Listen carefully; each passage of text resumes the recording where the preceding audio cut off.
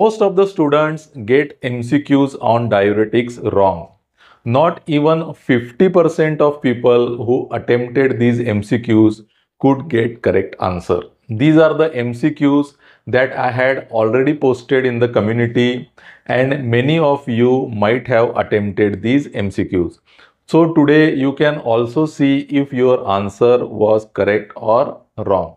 MCQ is a very good method of understanding or learning any topic or concept. So in today's video, along with solving the MCQs, we will also learn some important concepts of diuretics. So friends, without wasting much time, let's start the MCQs. Before going for solving the actual MCQs, we must have some basics to be properly understood. So friends, this is the chart and this chart will show how the levels of different substance in the blood are when a patient is given a loop diuretic or a thiazides. The differences between loop di diuretics and thiazides is a very popular question asked in the entrance exam. So this is a very important basic concept. So as you can see, when a loop diuretic is given to a patient, the level of sodium, chloride, potassium, calcium, magnesium and hydrogen ions, everything is decreased in the blood. And the level of uric acid, glucose and lithium, it increases in the blood. And when thiazides are given to the patient, the uh, levels are almost same as loop diuretics and the exception is only in the calcium. As you can see here, in case of uh, loop diuretics, the level of calcium in the blood is decreased. That that is there is hypocalcemia. And in case of thiazides the level of calcium is increased. That is there is hypercalcemia. So this is the important concept now next we are going to see the site of action and the mechanism of action of different types of diuretics. So first we are going to draw a nephron. So this is the nephron. This is the proximal convoluted tubule. This is the descending limb of loop of Henle. This is the ascending limb of loop of Henle. This is the distal convoluted tubule and this is the collecting duct. Now the drugs like acetazolamide, acetazolamide, they act at proximal convoluted tubule. Then the drugs like mannitol, they act on the proximal convoluted tubule and the descending limb. Then the drugs like furosemide or the loop diuretics, they act at the thick part of the ascending limb of loop of Henle. Then the drugs like thiazides, they act on the earlier part of the distal convoluted tubule. And the drugs like spironolactone, they act on the uh, latter part of the distal convoluted tubule and the collecting duct. And then how these drugs act the drugs like acetazolamide, they inhibit the enzyme called as carbonic anhydrase. Mannitol is a osmotic diuretic. The furosemide, it acts by inhibiting a pump called as sodium, potassium, chloride को transporter thiazides act by inhibiting the enzyme called as sodium chloride symporter and spironolactone act by inhibiting the aldosterone receptors so the so these two slides that I have shown to you, these are the very important basics that one should know for solving different MCQs on the uh, diuretics. So now let's uh, start with the MCQs. So this is the first MCQ. Which of the following adverse effects is more typical of loop diuretics than thiazides? So hyperuricemia. Hyperuricemia is caused by both drugs. Hypokalemic metabolic alkalosis. This is also caused by both drugs because both decrease the potassium in the blood and both decrease hydrogen ions in the blood. So this answer is also wrong. Hyperglycemia. Both drugs cause hypoglycemia. Now regarding hypocalcemia. We have seen that thiazides cause hypercalcemia and loop diuretics called hypocalcemia. So this is the correct answer. Now let's see how many people have answered this correctly. So only 22% of people have answered this correctly. And how many people have attempted this question? 809. Now our next MCQ. A 50 year old male with resistant hypertension is prescribed a diuretic that inhibits sodium chloride symporter in the early distal convoluted tubule. Which of the following additional actions is expected from this drug?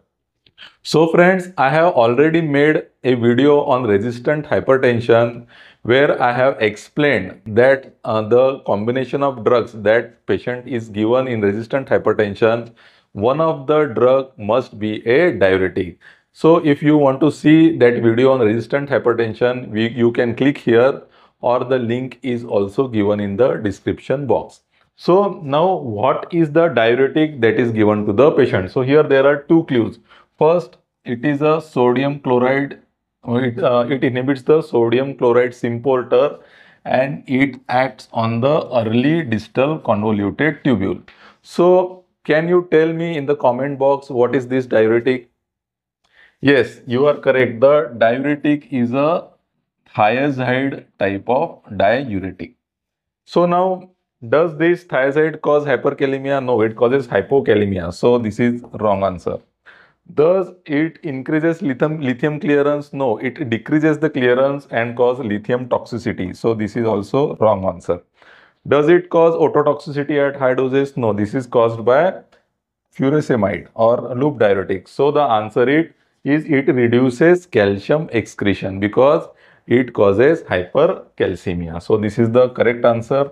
Now let's see how many of you have answered it correctly. Only 29% of people have answered this correctly and uh, how many have attempted 532 now the next question a patient with ascites due to cirrhosis is started on spironolactone which of the following side effects is due to its mechanism of action as an androgen receptor antagonist so friends this spironolactone is a aldosterone receptor antagonist but it also inhibits the androgen receptors and progestin receptors. So it causes different type of side effects in males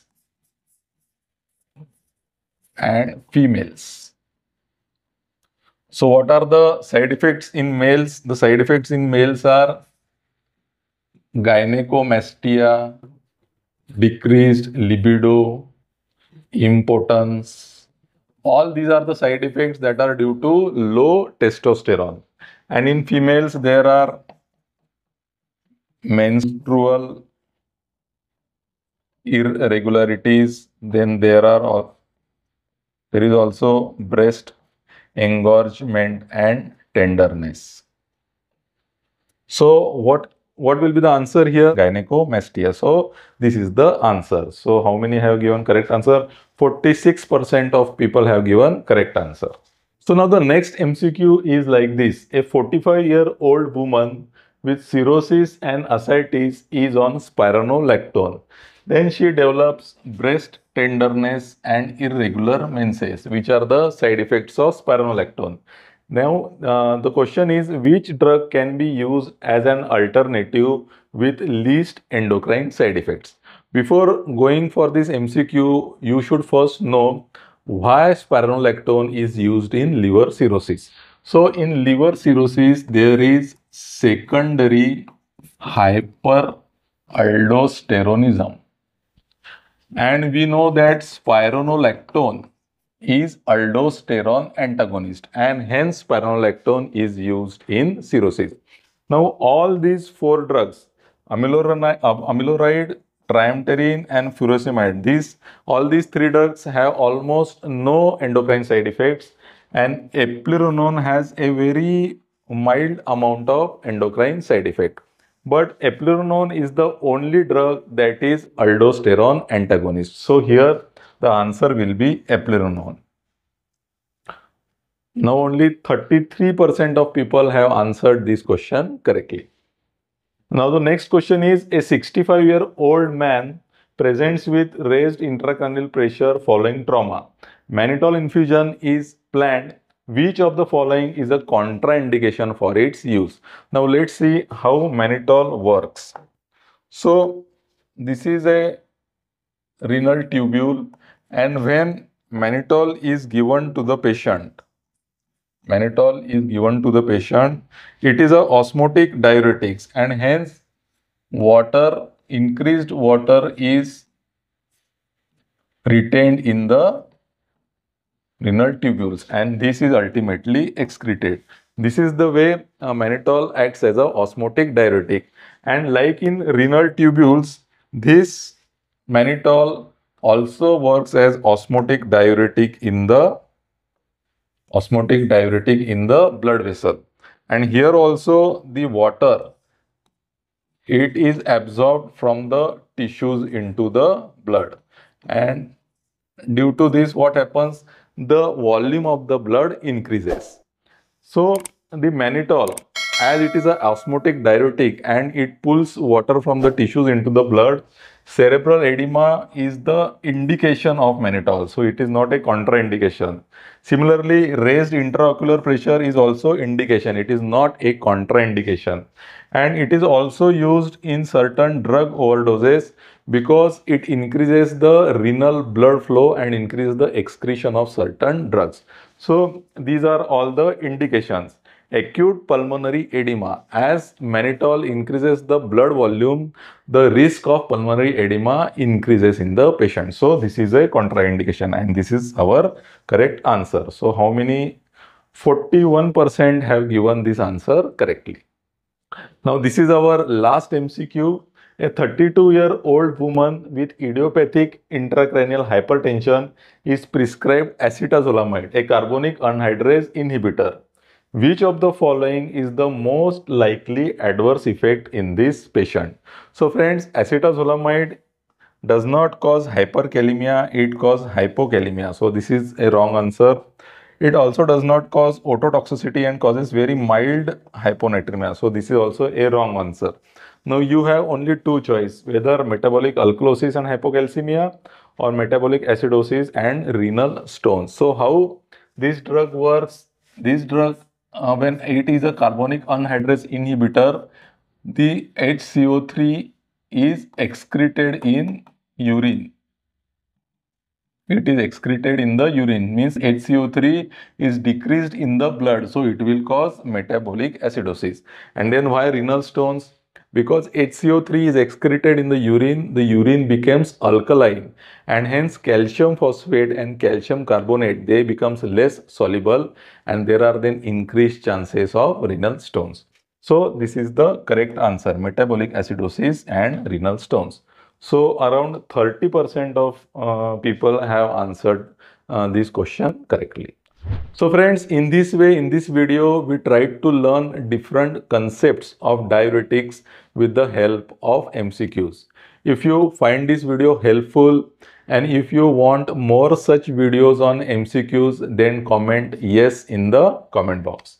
And you can also share this video with your friends, especially those who are preparing for the entrance exams. And friends, if you have come for the first time on this channel, then do subscribe this channel for more such clinical knowledge. See you in the next video. Till then, thank you.